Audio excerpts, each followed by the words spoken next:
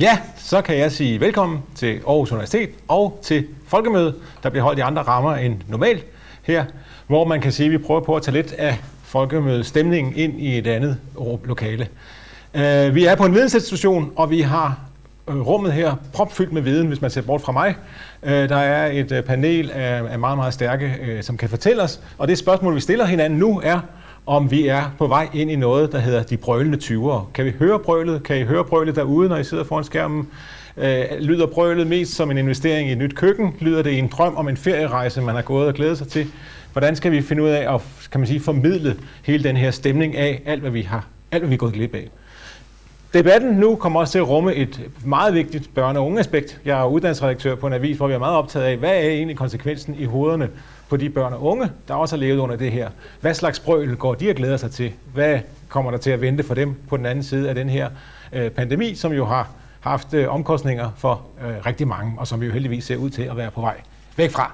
Som sagt, jeg har et øh, drømmepanel, vil jeg sige, af rigtig begavede mennesker, der kan hjælpe os på vej i den her diskussion.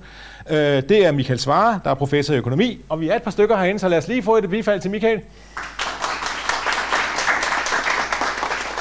Så er det Søren Paludan, der er professor og biolog. Også et bifald til Søren. Og så har vi Lars Jørgen Østergaard, der er professor i klinisk medicin.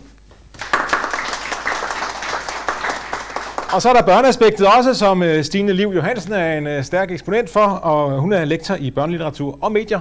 Et bifald det også. Og oven i alt det, det her overflødighedshorn af viden, så har vi også en antropolog, og det er Andreas. Hvordan er udstavet du det efternavn, Andreas? Røbstof. Røbstof, tak skal du have. Professor i antropologi. Også en stor hånd.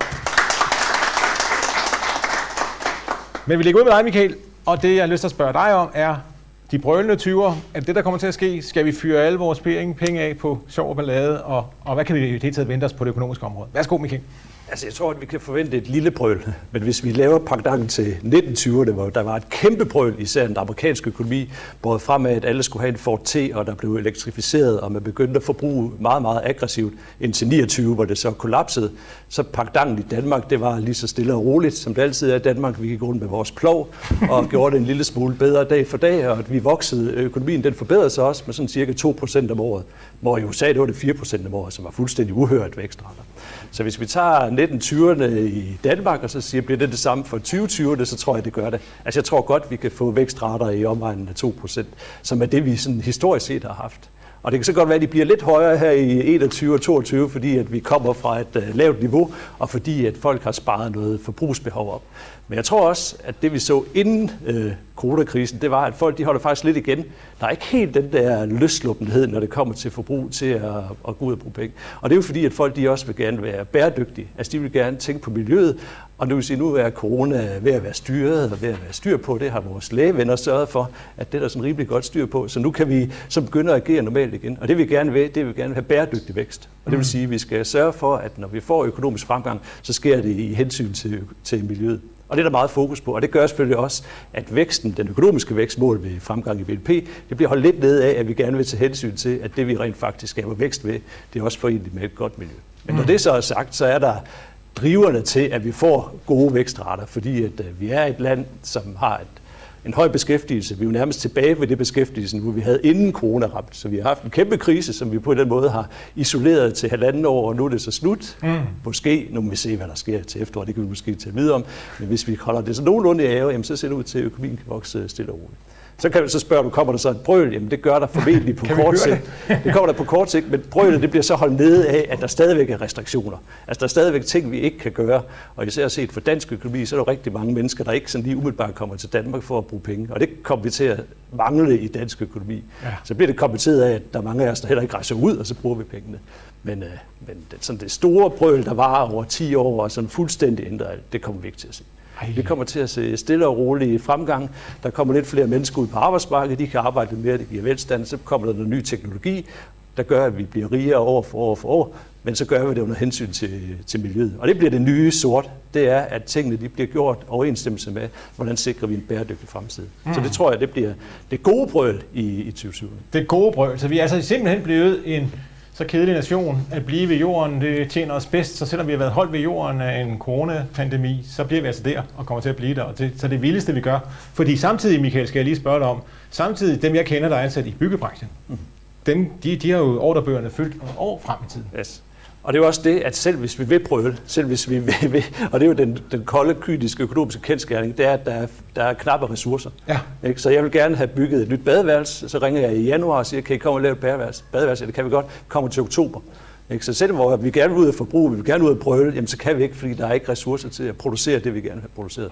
Og det er jo den, de her begrænsninger, vi hele tiden løber ind i. Vi vil gerne have vækstrater på 4%, som USA havde i 1920'erne. Det kan vi ikke, fordi vi har ikke ressourcerne. Mm. Så noget måde, vi kan få ekstra ressourcer på, det er ved at få nogle flere mennesker. Det tager lang tid at producere flere mennesker, hvis vi ikke vil importere arbejdskraft. Ja, det ved jeg. Ellers så skal vi have dem, der er her til at producere meget, meget mere effektivt. Og det er jo ja. det, vi kæmper med dag for dag. Men det er svært. Ja. Altså, vi har elektrificeret en gang, det kan vi ikke gøre igen. Vi har automatiseret masser. Det kan vi selvfølgelig godt blive bedre til, men det er virkelig svært at få nogle meget, meget store teknologiske fremskridt, der gør, at vi kan få de mennesker, vi har, som er begrænset til at producere meget mere effektivt. Så brølet i Danmark, det er lyden af et, af et nyt køkken, og så på længere sigt altså bæredygtigt forbrug. Lidt som øh, Magnus Etzenberger beskriver nordmændene, når de skal bruge deres oliemillioner, så skal de næsten lirke proppen af champagneplasken af, fordi naboen må ikke høre, at man, man fester. Og sådan er danskerne altså også blevet. Vi er blevet lidt, lidt norske i vores øh, forbrugsmønster. På, på, ja, vi har ikke helt øh, nordmændenes råderum, trods alt. Nej, det har men, vi så øh, Nej. Men det er de så også tjent på svinverden til. Og Michael, bare lige til en indledning, fordi det er jo en af de ting, som jeg synes, der også er vigtigt at få sagt her. Nu vil jeg lige sige jo, jeg skal selvfølgelig sige, at alle kan jo stille spørgsmål herinde, hvis I synes, at mine spørgsmål er for dårlige. Så endelig fyr et spørgsmål ind på øh, sms-tråden her, så kommer det ind, så stiller jeg spørgsmålet videre. Men et spørgsmål, jeg skal lige have dig til at forklare, Michael, det er jo, at der bliver brugt rigtig mange penge samfundsøkonomisk for øjeblikket, og det er engangsinvesteringer. Og så siger politikerne, det kan vi godt forsvare, fordi det er engangsinvesteringer. Men der er en forskel på, hvis vi så siger, at jeg kommer og siger, at vi vil gerne have mere i mediestøtte i årene, der kommer, eller hvad det nu kan være. Så siger de, det har vi ikke råd til. Kan du ikke lige forklare det sådan øh, skændende mellem engangsinvesteringer og, og, og sådan lidt mere langsigtede investeringer? Jo, altså man kan sige, man vil jo gerne bruge penge på noget, der giver noget tilbage. Ja. Og her da corona ramte, så tænkte okay, er der et argument for at åbne statskassen op for at holde hånden under økonomien? Ja, det er der. Ja. Havde vi mulighederne for det? Ja, det havde vi, og så gjorde vi det. Og ja. det var en super smart investering, fordi vi fik noget ud af det. Ja. Og det var så den tankegang, vi nu skal bruge, når du kommer og siger, at du gerne vil have mere mediestøtte, så skal ja. politikerne sige, okay, vil vi prioritere øh, mere mediestøtte fra nu af og så i al fremtid, og så skal det enten prioriteres ved, at øh, de handicappede skal have mindre, eller ved, at vi skal tage nogle større skatter ind i det boligejerne. Det så det, det der, nu kommer vi... Ja. Så hver beslutning, så man kan godt, men det kræver nogle prioriteringer. Og der var det lettere med corona, fordi at det skulle håndteres, og den måde, vi kunne håndtere det på, det var ved at bruge statskassen. Kan vi bruge 17 milliarder på at, at brænde døde mink, men vi kan ikke bruge, måske, hvad ved jeg, 300-400 millioner på at skabe bedre forhold i vores daginstitutioner. Det, det kan du godt, ja. men uh, så skal du prioritere det. Og så skal ligge det også. Og, så skal du. Ja. Og, og lige et enkelt pointe, det er, at, at grunden til, at vi skal prioritere det, det er, fordi vi vil gerne have sunde offentlige finanser, sådan løbende. Fordi ja. det gør, at når krisen rammer, så har vi robustheden til at gøre det, som vi gjorde, da ja. corona ramte.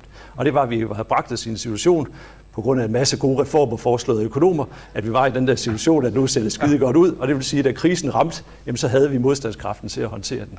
Vi har AAA-kreditvurdering som et af de få lande i verden. Ja. Og det er det, vi skal blive ved med, og derfor så skal man prioritere. Men man kan sagtens uh, bruge flere penge til mediestøtte. Ja, ja, det, siger, det er glad for, at sige. Ja, ja, det er glad for, at sige. Jeg er glad for, at du siger, at uh, på baggrund af gode råd fra økonomer, peger du diskret ind på dig selv. Det er en meget diskret måde, og, og det er godt, at vi har... Økonomer, de er en uh, beskedende natur. Og godt, at vores politikere har lyttet til økonomer, fordi det har betydet, at vi i modsætning til nogle af de andre lande er kommet godt over det her, og altså har udsigt til en om en begrænset forbrugsfest, så dog en forbrugsfest, der vil sætte gang i samfundet. Altså man kan sige, at forbrugspotentiale er der. Ja. Altså den gennemsnitlige danske husstand, de har sparet 40.000 op her under coronakrisen, så, så ja. potentiale er der, hvis folk vil ud og bruge, men brug det fornuftigt. 40.000 siger du. Ja, der kan jeg bare konstatere, at jeg ligger noget under gennemsnittet. Jeg ved ikke, hvordan det er. Ja, sådan er det tit med gennemsnit. Ja, ja det er det jo med gennemsnit. Det er godt.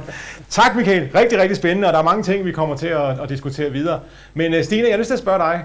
Uh, der er også en, en mental del af den her krise. Der er også en situation, hvor vi har børn og unge, som øh, har øh, på en eller anden måde haft nogle omkostninger. Hvordan kommer de til at reagere? Hvad, hvad, hvad ser vi med dem, når vi kommer på den anden side? Jamen det, det som vi står med lige nu, øh, og det, vi skal jo huske, altså det er jo faktisk først i den her uge fra i mandags, blev det normaliseret at gå i skole og dagtilbud. Ja. Altså der måtte man være sammen med nogen fra nogle andre klasser, og der måtte man, øh, der måtte man tage på lejerskole, og, og forældrene måtte gå ind i institutionen uden mundbind osv. Så, så, så, så det har jo egentlig været en rigtig, rigtig lang periode, selvom det har været frem og tilbage, og de har været hjemme, og så har de været derhen igen. Det er faktisk først nu, at vi kan begynde at stå og se på, hvad, hvad, hvad er så den normal, vi skal tilbage til. Og for rigtig mange børn, altså de mindste børn især, der har det jo været en enorm stor del af deres liv. Altså det er jo måske en fjerdedel af deres liv, der har været corona, eller en, en, en sjettedel af deres, eller halvdelen af deres skoleliv, der har været corona. Jeg har selv en gymnasieelev derhjemme, og det er jo, det er jo ved at være over halvdelen af hans gymnasietid, der har været enormt påvirket af det her. Ikke? Ja. Så, så, så, så det skal vi jo lige så langsomt. Der bliver ikke så meget brøl, tænker jeg, men, men fordi sådan er det jo ikke med, med børn og unge. Dem skal vi jo øh, fare lidt mere med lempe og, og tage lidt mere øh, stille og roligt hånd om dem. Ikke? Men der er bare noget, der, der trænger til at blive reetableret eller etableret overhovedet, og det er jo altså deres fællesskaber mm. med hinanden. Det er jo der, de har øh, altså, betalt den aller, aller største pris. Ikke? Øh, de skal lære at lege. De skal lære at indgå i relationer til, til andre børn. Øh, de skal øh, lære, hvad det vil sige at gå i institution og i skole osv. Øh, og de skal lære at gå til eksamen. Det har også været øh, meget nedprioriteret og gode grunde. Det er jo et fornuftigt sted ligesom at skære, tænker jeg. Men, men, men der er også nogle ting, man skal øve sig i, og som, som man ikke bare lige øh, kan selvfølgelig. Så, så der er en hel masse sådan... Øh, reparationsarbejde, og, og det er jo ikke noget, vi kan nå at gøre herinde, øh, vi går på sommerferie, men det kommer jo til at tage øh, det næste års tid, eller sådan noget, inden at, at, at de der fællesskaber er blevet, blevet reetableret. Ikke? Øh, så så, så det, det skal de jo bruge rigtig mange kræfter på, øh, børnene og de unge. Ikke? Og så skal vi jo tilbage til alle de der snakke, vi også havde før. Altså, øh, vi havde jo sådan en, en diskussion om, at der er stress og sårbarhed blandt børn og unge den skal vi jo også tilbage og snakke om, okay, hvordan ser det så ud nu, og hvor, hvor er vi så henne med det? Og så er der jo hele den der diskussion, som, som jeg er særligt optaget af omkring deres digitale liv, og bruger de for meget tid på en skærm og sådan noget. Og det blev jo ligesom pff, kastet fuldstændig op i luften i den her periode, og der var ligesom ikke andre muligheder end at bruge tid foran en skærm. Hvordan får vi den øh, diskussion tilbage øh, på sporet igen og får skabt nogle gode rammer omkring deres øh, digitale liv? Ikke? De har fået al den skærmtid, de kunne drømme om derude. Ja, men, men ja, og, det, og det, har, det har jo været, altså det skal vi jo også, vi skal jo først og fremmest huske, øh, jeg har lavet forskning af, hvordan, hvordan øh, børn har haft det her i Danmark, når vi sammenligner med, med i andre europæiske lande, og det, at vi har devices hjemme i familien, vi har gode internetforbindelser, vi har login i skolen, vi har en, en digital infrastruktur, der fungerer, vi har øh, public service medier og publicistiske medier til børn, som gik ud og lavede relevant nyhedsformidling lynhurtigt. Ikke? Altså vi havde enormt meget, som kunne lade sig gøre på grund af medier. Ikke også? Ah, ah. Øh, men vi har jo selvfølgelig også både alle sammen oplevet altså, trætheden. Øh, nu gider vi ikke sidde og glo mere på den der skærm. Og så har vi også oplevet, at der har været en øget øh, udsathed og sårbarhed øh, for, for nogle børn øh, ja. i den her periode. Ja. Ja. Øh, og på en dag, hvor der er landskamp, er det jo rart, at vi kan slå tyskerne i én ting, og det er jo for eksempel vores øh, internet ja, og vores øh, måde at undervise vores elever på. Det. Og der, der, vi... der, der, kan vi, der kan vi slå stort set alle ja. andre. Altså det er ja. faktisk kun jo de skandinaviske lande, der har de her ting. Altså det her med, at der i løbet af fire dage blev der etableret sofaskolen, ja. der bare øh, fyrede ud over, øh, over YouTube. Ikke? Ja, helt vildt. Øh, ja. Øh, Randers Regnskov sendt live og sådan noget. Når jeg fortæller mine sydeuropæiske kollegaer om det, så er de bare sådan, okay, der var en times børnetv en gang om ugen med noget undervisning ikke? på fjernsyn. Ja. Øh, Men Stine, hvis vi så skal binde an til Michaels pointe, så siger vi, okay, vi har de her penge liggende ude i, øh, ja. i husholdningen. Forældrene er for kedelige til at få, få, få fyret op under pengene. Er det så de unge, der kan give det brøl? Altså, skal, de, skal forældrene give de unge nogle penge til is i parken og, og, og øh, øh, dåse rammer med øldåser? Ja, og det vil, det, vil jo, altså, det vil jo nok gøre, altså igen på den korte bane, og, og, og der er jo igen også noget, der stadig er en del forsinkelse på. Der skal jo, der skal jo food under Roskilde Festival til næste år og den slags ja. ting. Ikke? Så der er, der er jo nogle ting, som, som, som skal, skal vi skal tilbage til i løbet af det næste stykke tid. Men, men igen, altså, som du også taler om, det der bæredygtighed, det er jo især de unge, der driver det. De har ikke noget stort behov for at skulle ud og forny garderoben fra top til to. De, skal bare, de går bare ned i genneren og køber et eller andet. Ikke? Mm. Så, så, så det er jo ikke, det er ikke på den måde. Altså, de, de kommer ikke til at, tænker jeg, at drive den der. De vil noget andet. Det er et interessant aspekt, at det også det, Michael er inde på, at de unge faktisk minder også Noget om? de vil gerne bruge penge, men de vil ja. gerne bruge altså de vil jo gerne rejse, de ja. vil gerne opleve og sådan noget, men, de, men, de, men de, de har jo ikke et stort behov for, for ting. Vi kan ikke længere vide, at hvis vi giver penge til de unge, så går de ud og bruger dem på tøj og så videre, fordi Nej. de har også taget den der til sig med, at man ja. skal i kirkens korsager og købe ja. genbrug, og det er smart at gå i noget, yes. der er sat sammen på en fiks måde. Ja, der kunne lige det prøve for de der soundboxe, som ja. de køber. Nå ja, ja, det er det. Men det er jo igen, vi er over i oplevelsesindustrien her, ikke? Ja. Jo, men der kan man også sige, at forældregenerationen slår hårdt tilbage. Ja. Kl. 22, så lukker vi for musikken i, øh, i byområderne ja. og så videre. Ja, sådan er det. Tusind tak. Godt. Øh, Søren, så skal jeg jo så høre ud fra den biologiske perspektiv. Er det her forsvarligt? Altså den diskussion øh, optager jo sindene i sommervarmen stadigvæk. Der er jo nogen, der siger, ho, ho, skal vi lige passe på, og er det ikke lige gået lige lovligt hurtigt med det mundbind, og med at vi nu kan, kan være sammen i de sammenhæng her? Og der er andre, der siger, det går alt for langsomt. Hvor, hvor, hvor, hvor, hvor ligger du? Jamen altså, jeg øh, synes, det er gået for langsomt, hvis du spørger mig. øh, men øh, i og for sig, så synes jeg, at hvis man ser over de sidste halve år, så, så den må, jeg har generelt ikke været den store fan af den måde, Danmark har håndteret det på egentlig. Men jeg synes, fra cirka februar fremad, der har man faktisk øh, taget en relativt risikovillig tilgang faktisk, hvor at man har haft fokus på egentlig mere, hvor mange indlagte har der været i forhold til, hvor mange smittede var der. Ja. Og det har faktisk gjort, at man, fordi at corona i Italien opfører sig ikke på samme måde som i Danmark, fordi vi har andre måder at være sammen på, osv., osv., osv., så man kan ikke bare ekstrapolere Bergamo til, til Aarhus. Og det gør faktisk, at vi i Danmark nok i virkeligheden tidligere kunne have åbnet mere, mm. og have fået mere gang i julen. Ja. Øhm, så, så, så jeg synes, den måde, man håndterer det på nu, den, den synes jeg er helt fantastisk. Den er landet på et balanceret ja, sted. Ja, ja. Nu siger Stine så, øh, vi skal i gang i den der Roskilde Festival, og det bliver jo så mm. først fra næste år. Men, men, men man kan jo ikke lade være med at tænke på, med det du siger der, kunne man forsvarligt have gennemført den om 14 dage, når vi nu ved det, vi ved nu? Ja, det er jo altid nemt at stå og sige. Altså, ja. jeg er rimelig sikker på, at det kunne man godt. Ja. Øh, det vil have givet noget smitte, det vil måske også give nogle, nogle indlagte, men de fleste er jo, er jo vaccineret. Så jeg tror, men det var en beslutning, der skulle tages for et par måneder siden, ja. og der er det, en, det er meget nemt at stå og være bagklog. Ja. Men i dag vil jeg ikke lægge søvnløs, hvis at jeg havde trykket på den grønne knap og sagt, at det synes jeg godt, I kan. Men så, sådan er det. Ja, ja, ja. ja. Ja, og apropos det der med at, at, at vente, jeg så lige gentegning procenten på Roskilde Festival af 94 procent. Ja. Det, vis, det siger jo et eller andet om de unge, både i forhold til, at de sætter ikke bare penge i banken, men mm. de sætter også oplevelser i banken, og at øh, de faktisk kan skubbe sådan en relativt stor sum penge øh, ind i, i det nye år til en festival. Men jeg, men jeg tror, at apropos det brøl, som jeg synes, vores økonom ikke rigtig vil så meget med til, man kunne egentlig godt forestille sig, at det bliver dels på kulturfronten, mm. at det store brøl kommer.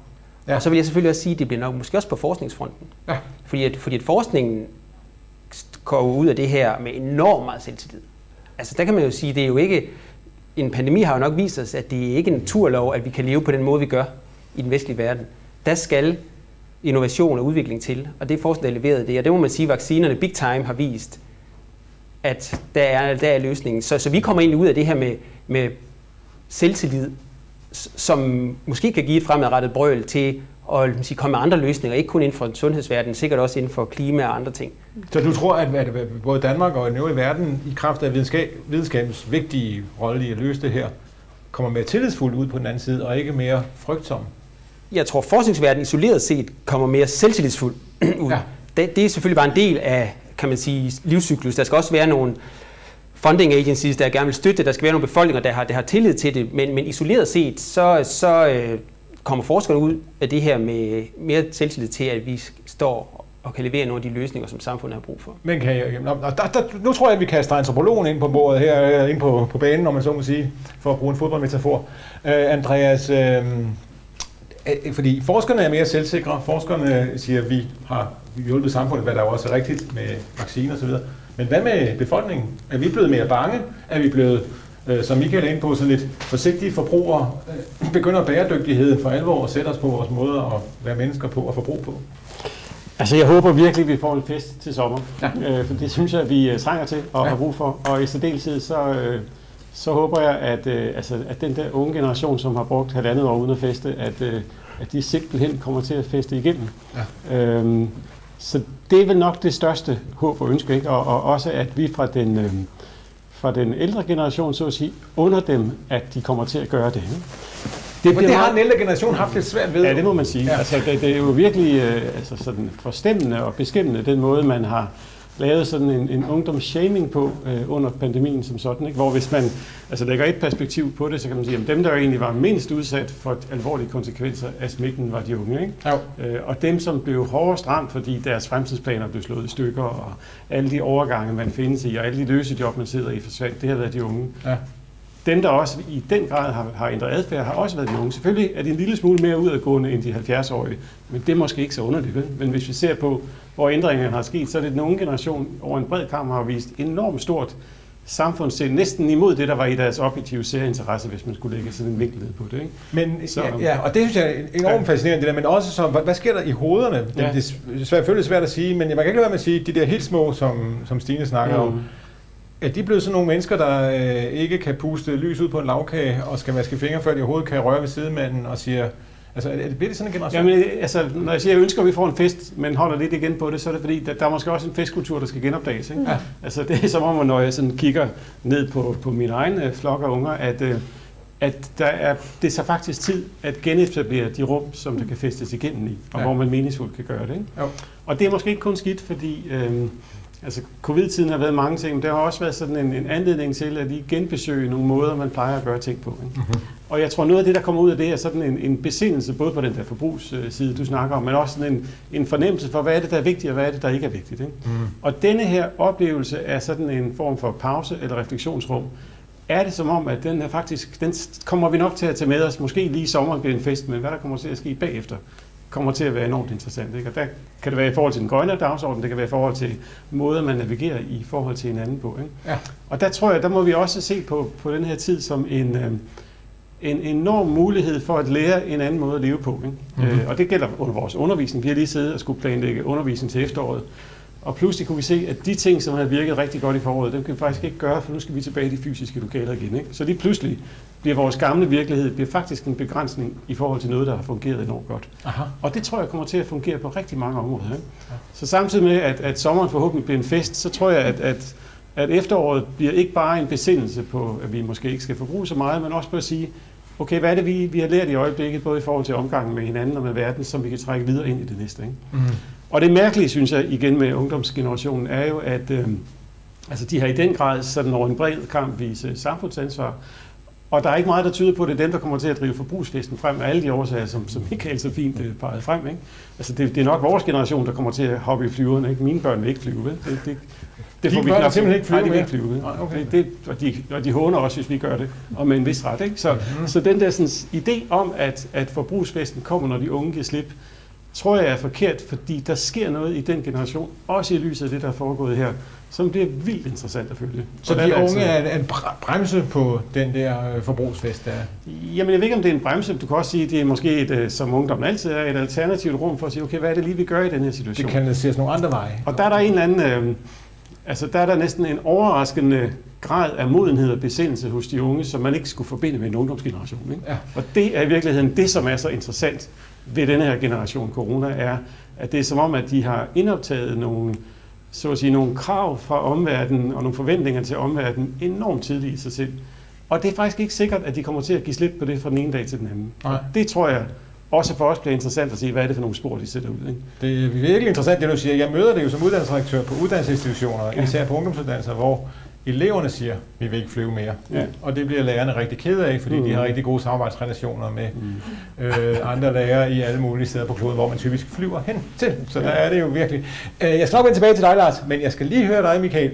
Hvis ikke vi mere kan regne med på den økonomiske side, at når vi smider penge ud i et samfund, så fører det til vækst, og så fører det til øh, restaurantbesøg og flyveture osv. Så, videre. så skal vi jo til at, at tænke økonomi på en helt ny måde. Det tror jeg ikke. Nej, Okay. Jeg tror bare, at vi skal se andre forbrugsmønstre. Altså man Ja. kan godt bruge sine penge, man kan bare bruge dem fornuftigt. Så Ja. jeg tror stadigvæk, øh, jeg tror stadigvæk, der bliver ved med at være økonomisk vækst og økonomisk fremgang. Og ikke fordi, altså der er jo det med, altså lidt, lidt relateret til det der, men så er folk de er heller ikke så vilde med at arbejde så meget. nej. Altså nu må man selvfølgelig sige, det at, det at man kan arbejde hjemme, det gør jo, så kan man konvertere noget transporttid til et arbejde, og så arbejder man lidt mere indtil man får konverteret det til endnu lavere arbejdstid. Ja. Så, så der er en tendens, som jo går lidt i retning af det med, at vi bliver rige, vi bliver velstående, vi vil gerne bruge vores tid på noget fornuftigt, og derfor så efterspørger vi grønne løsninger, men vi efterspørger også mere fritid. Så det vil sige, at vi kommer til at formentlig til at altså på gennemsnittet arbejde mindre. Så er nogen som også, vi arbejder ikke mindre, men det gennemsnittet arbejder med mindre. Ja. Men, og, og, det betyder selvfølgelig noget for, hvor meget vækst bliver der skabt. Men så bliver vi så bedre til, når vi laver noget, så, gør, så kommer der noget værdi ud af det. Og det tror jeg, det bliver ved med at gøre. Mm-hmm. Og så det forbrug, vi har, det bliver bare noget andet forbrug. Okay. Altså, så kan det godt være, at folk de bliver... Altså, det, det, der er sket, det er, at folk de sparer mere og mere op nu. Altså, det har været sådan en tendens siden øh, finanskrisen, og der er ingen rigtig, der kan forklare det. Udover at man måske er sådan lidt øh, påpasselig oven på finanskrisen, men det kan også være, at der har sat sig et eller andet, altså noget forbrugs, ændret forbrugsmønster, hvor man er blevet mere bæredygtig, og så tager det tid, inden man omstiller sig til et nyt forbrugsmønster. Men der skal nok være nogle øh, driftige, øh, entreprenante typer derude, der finder ud af at, at finde noget, der kan tilfredsstille det behov, som så er bæredygtigt, altså som er noget, også de nye generationer vil forbruge. Det, ja. Sådan har det jo været igennem Altid. Så det, bliver, det, det, også det, bliver, det bliver el... Så jeg tør ikke afblæse øh, økonomisk vækst. Nej, det er jo næsten spændende. Men det bliver elbiler. Men jeg tror, det, bliver... det bliver bæredygtigt. Det tror jeg faktisk, den gør. I ja. hvert fald men der er, dele af, der er dele af vores øh, økonomi, der skal gentænkes. Vi, der er meget, der skal gentænkes. Best, bestseller ligger her i nærheden, sætter rigtig meget tøj. Og, og, og, hvis det er, at de unge de går i kirken, kirken forsag i stedet for at gå ind og købe nyt tøj, så skal der være nogen, der skal til at tænke, hov fordi yes. så meget tøj kan vi andre jo heller ikke købe. Yes. Og det er klart, nu er de danske unge, de er jo meget, meget lille del af det samlede ja, forbrug. Det er, altså, det er jo også for eksempel landbruget, som øh, jo også kommer til at fylde rigtig, rigtig meget på den grønne. Ikke? De har jo så for dem heldigvis et kæmpe afsætningsmarked i Asien, ikke? der bare vokser og vokser og vokser. Ja. Men det er jo også det samme, hvis man ser på forbruget, eller kødforbruget i Danmark, så er det jo faldende, og det er især faldende ved de unge, men så kommer nogle andre, der vil købe det. Men, men, så der kommer til at ske rigtig meget, men, øh, men som vi... Vi skal jo lige runde bolig, fordi der hvor man så bruger sine penge, og det gælder i virkeligheden både jo forældregenerationen og de unge, de bruger rigtig mange penge på bolig i de, i de store byer. Det er vel også det, der, der, skal, der skal rigtig mange penge til. Altså du alene bare det at og, og, og købe en, en lille lejlighed i en, en stor by er, er rigtig er det, er det, der sker? At man også bruger, som vi har gjort længe i Danmark, rigtig mange penge på kvadratmeter? Ja, nej, øh, faktisk ikke. Altså, Nå. det der er sket... ja, det nu troede jeg lige, at jeg det. Jeg blæser alle myter ud her. Ikke? Altså, det, der er sket, det er, at, at at finansieringsomkostningerne ved boliger, de er faldet drastisk, fordi renten er så lav. Ja. Så det vil sige, at det gør så bare, at priserne stiger, men den boligydelse, du har, den er faktisk ikke steget. Okay. Så hvis man ser, hvilken andel af indkomsten, som danskerne bruger bolig, så er den faktisk nogenlunde stabil. Aha. Så den er ikke steget. Det kan godt være nogle øh, steder på de allermest øh, højrøde steder i København, der er det, ja. der ser ud. Men på gennemsnittet, der, der er det faktisk... Okay. Øh, så. så det er kun et øh, centralt Københavns problem? Det, det, det er primært et centralt Københavns problem, men der er også, øh, selvfølgelig også noget i Aarhus, som ja. kan forklares af mange ting, men ja. de lave renter, det er, det er en kraftig forklaring. Plus at uh, så netop, hvad fanden skal man ellers bruge pengene på her i corona, ikke? og man skal have de arbejdspladser og sådan noget. Så der er sket ja, ja, ja. Men, det, men nu er det jo slut, så nu kommer den del nok ud af det, og så kan det også være, at renterne begynder at stige lidt. Og så det allerbedste er, at vi har fundet på en boligskattelovgivning, der kommer til at øge beskatningen, når huslejen stiger, eller når huspriserne stiger. Så det ja. kommer også til at trække priserne. Og så er vi tilbage ved byggeriet. I, de her, I de her dage, der bliver de nye ejendomsvurderinger sendt ud, og så kan ja. det godt være, at der er nogen, der bliver bange. Mm. Ægtefælder har, været nødt til at indrette to kontorer, fordi de kunne ikke holde ud og sidde hver sin side af skrivebordet, så var nødt til at have et kontor, hvor de kunne hen og så videre, og så videre. Ja, det kan man godt se for sig, og så er det vi tilbage ved, ved at vi har kø ved, ved, ved, ved tilbyggelser og så videre. Lars, ja. du er i hvert fald en af dem, der jo ikke har arbejdet lidt i den her tid, øh, der, har, der har været. Kan du så love, at øh, den her begyndende vækst, den her anderledes vækst, den her øh, ungdomsfest, øh, som Andreas snakker om, kan du love, at den ikke bliver bremset af en stenhård tredje bølge? Nej, jeg kan ikke garantere det. Jeg ikke. Ja, øv. Men jeg kan håbe, ja. øh, og jeg kan tro. Ja. Øh, og det må man godt, når det er folkemøde. Det må man. Ja. Øh, så derfor tror jeg også, at vi har så godt styr på den nu. Mm. Øh, vi er også velforberedt med de her vacciner, som jo hele tiden bliver tilpasset til nye varianter, der kan være mere smitsomme. Øh, og, øh, og den teknologiske landvinding, øh, den vil gøre, at vi kan styre os ud af øh, den her krise. Det tror ja. jeg. Ja. Og hvis det skulle fejle på en eller anden måde, så er jeg sikker på, at vi også kan begynde at øh, lukke ned øh, og øh, åbne op øh, lidt mere intelligent, end, øh, end vi, har, vi har kunnet fra starten, hvor vi jo ikke har kendt til netop den her sygdom. Så ja. jeg tror, at det kommer til at gå øh, rimeligt øh, brølende godt for de unge. Rimeligt brølende godt for de unge, det er dejligt at høre. Og når du siger lidt mere intelligent, så tænker du på mere lokale nedlukninger og mindre nationale nedlukninger? Ja, altså vi, jeg synes, vi har erfaret nu, at det her med at lave lokale øh, nedlukninger, det fungerer faktisk ganske udmærket, og det er måske lidt mere skånsomt end nationale øh, nedlukninger ja. og genåbninger.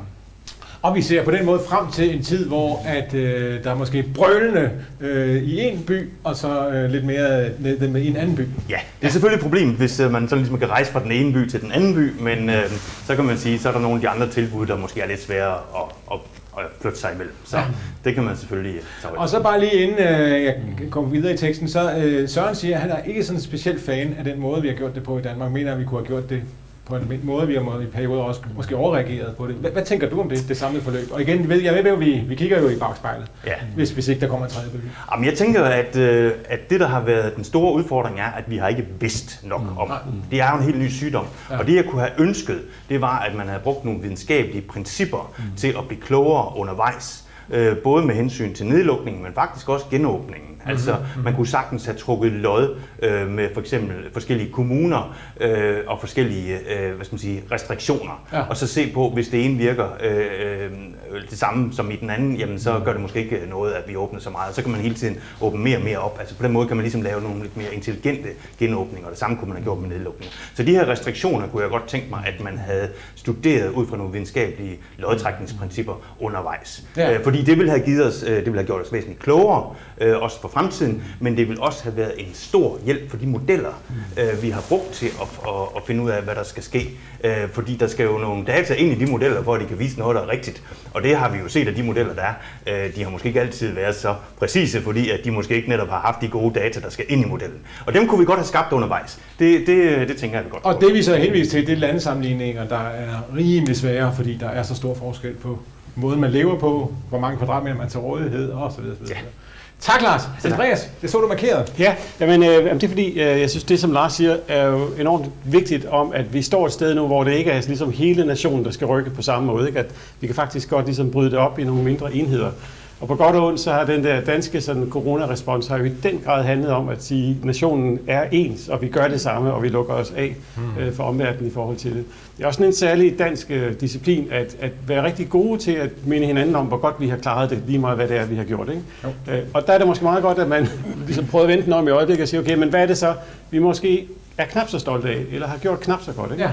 Og der kunne man jo starte et sted, der siger, hvad er det en pandemi betyder? Men det betyder, at det er et globalt fænomen. Ikke? Jo. Og der er der så et eller andet omkring denne her forståelse for, at hvis det går skidt andre steder, så kan vi faktisk ikke være på en egen ø som vi måske ikke skal være så stolte i den danske indsats i den her omgang. Ikke? Altså Danmark har jo i den grad været foregangsland for os at sige, at vi løser vores egne problemer, og så er vi resten af verden sejle deres egen tø på mm. den her problemstilling. Mm.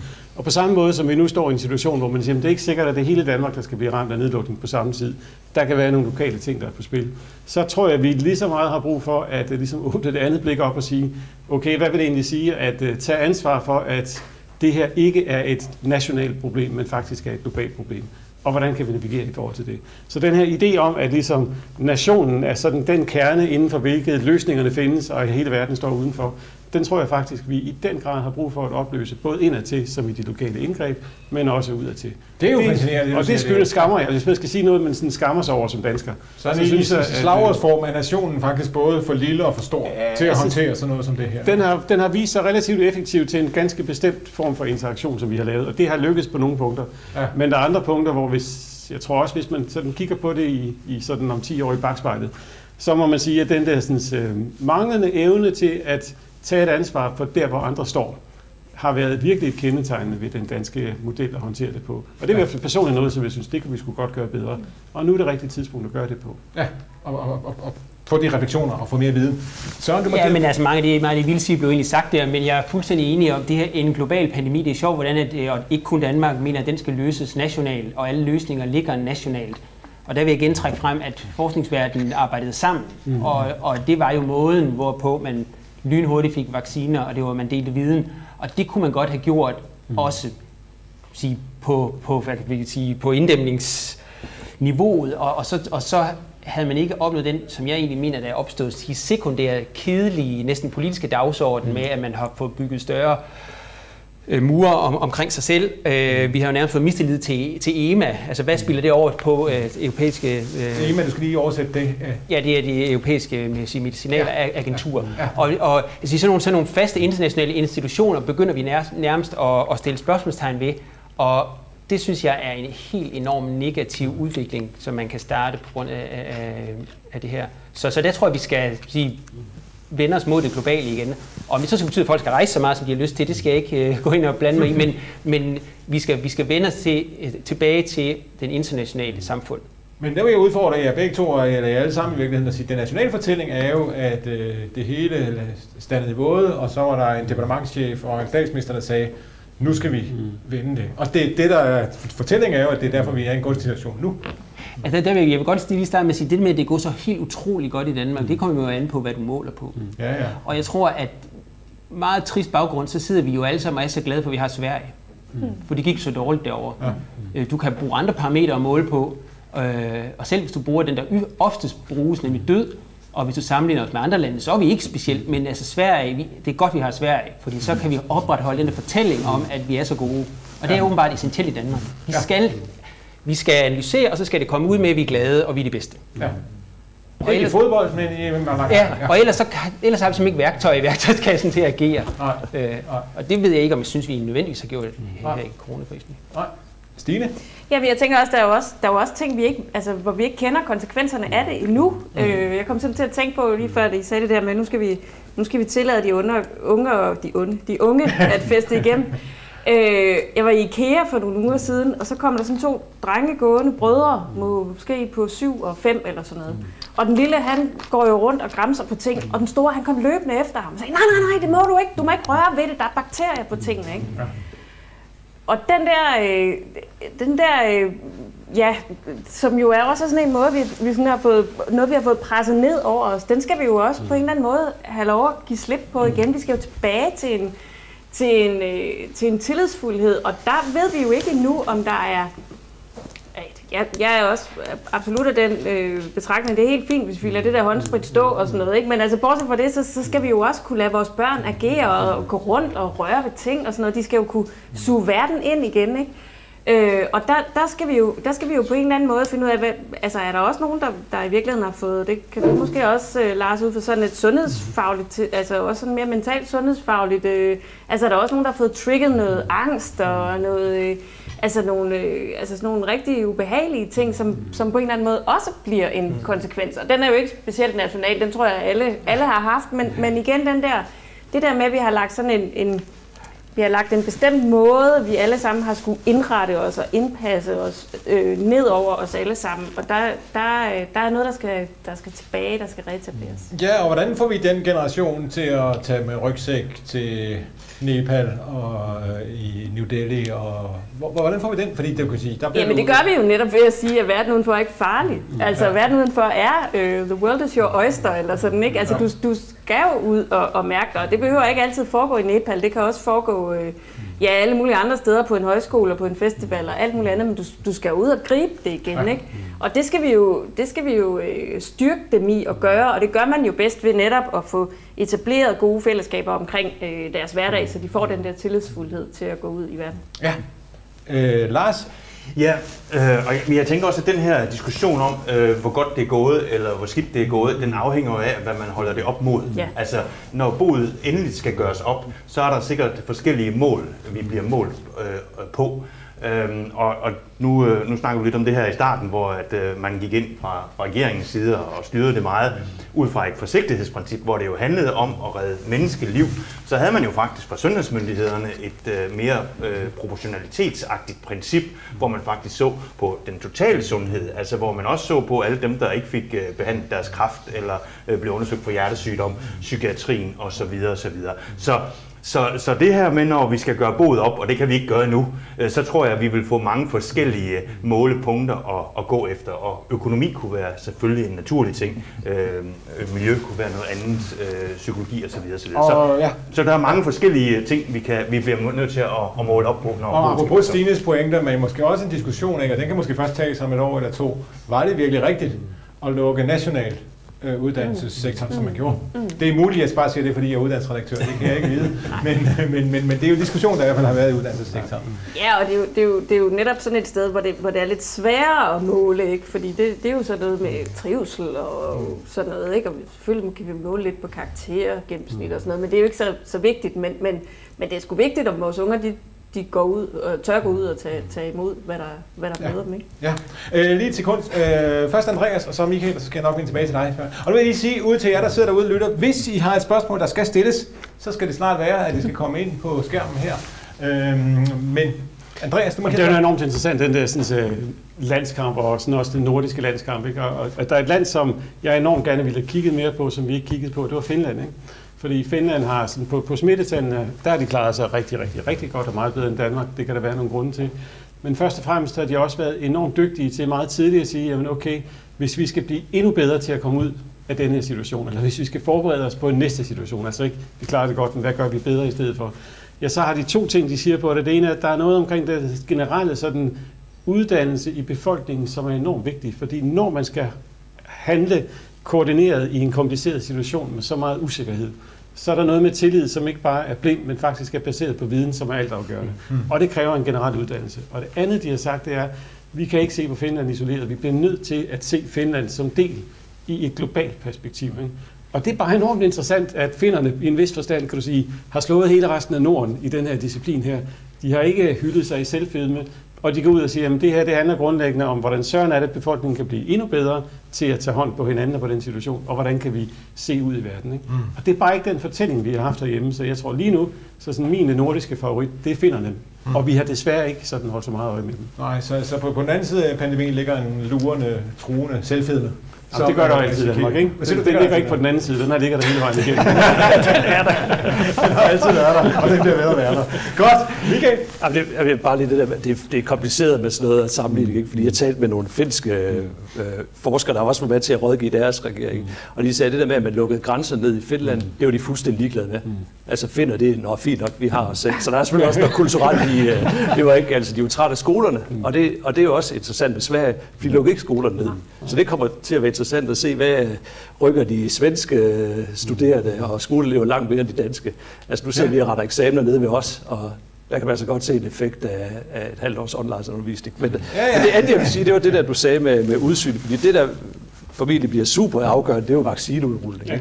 Fordi nu vaccinerer vi i Danmark, vi vaccinerer så ikke de små, så ham der, han skal stadigvæk lade være med at røre ved tingene, fordi han er jo en smittebærer og modsætning til, og han, bliver, han så kan smitte nogle andre. Ikke? Så, så det der med, hvordan får vi udrullet vaccinen til de andre lande, altså de lande, som ikke selv, det er jo det, der bliver det, det springende punkt, tænker jeg. Og jeg ved ikke, om det er jo det, du, du tænkte på, eller Ja, det er for eksempel et godt eksempel på det. Jeg kan sige, Det er et, et fælles ansvar. Vi kan jo ikke rejse i verden, Nej. før vi på en eller anden måde. Altså- har gjort det til et globalt ansvar. Ikke? Og Og så- vi, at de her mutationer Lige bliver ved med at komme rullende, hvis ikke at det er noget, der bliver løst på et Og globalt indtil, indtil vi, det gik op, indtil vi begyndte at fjerne vacciner fra vores program, så havde vi vel også vacciner, så vi kunne have vaccineret øh, den danske befolkning to-tre gange. Ja. Der kunne man godt have skibet nogen afsted til. Og det kunne man jo stadigvæk gøre. Altså amerikanerne har jo været lynhurtige at sige, at det her det er på en eller anden måde, altså der ligger en Marshallhjælp Ja. i det, det, som ikke bare er altruistisk, men faktisk er at anerkende, at det her er et fælles problem, og der bliver man nødt til at hjælpes med. Ja, Marshallhjælpen er jo god pointe. Det var det, det, det, er det, man gjorde efter 2. verdenskrig Ja. for at genopbygge øh, Europa. Europa, Nu har vi brug ja. for at genopbygge den tredje verden Ja. efter en coronaepidemi. Så vi kan, og så vi også kan sende vores børn ud og få Ja. den oplevelse, det er Præcis. at stå i en øh, slumby øh, et eller andet sted på kloden og, Mm. og, og få den oplevelse af det. Yes! Søren? Jeg havde det var i forbindelse med, med skoler, og, og så vil jeg sige en, en generel pointe. Jeg synes, at vi i starten brugte for meget energi på frygt. Og det var en ukendt sygdom, det er korrekt, men det er altid nemt at tale til frygt. Ja. Og så får du lukket ned, men det, jeg synes, vi oplever nu, det er egentlig det, der skal til for at vinde krisen, til at vinde krigen. Det er ikke det, der skal til for at vinde freden. For nu er det svært at få folk væk fra den frygt. Mm. Og det betyder, at vi har nogle absurde diskussioner nu.